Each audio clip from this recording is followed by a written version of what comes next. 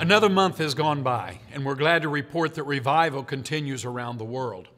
Just concluded our annual report, and thank God for victories. Victories like in Europe, where in Serbia there was a youth camp and several were filled with the Holy Ghost.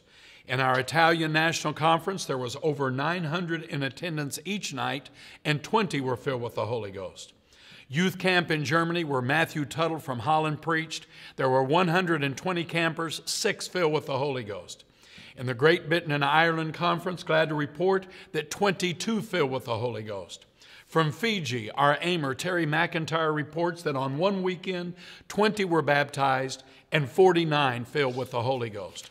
Then, from our Next Steppers, who is a group of young people that go to serve for several weeks on the foreign field, they were in Paraguay. They traveled over 1,700 kilometers. They visited 13 churches. 450 children saw skits and were able to enjoy puppets during that time. Also, glad to report that 10 were filled with the Holy Ghost. Then, from Madagascar, our General Superintendent, Brother Bernard, just returned, and there were over 2,075 people that were filled with the Holy Ghost. In Malawi, Brother Robinette reports 900 filled with the Holy Ghost.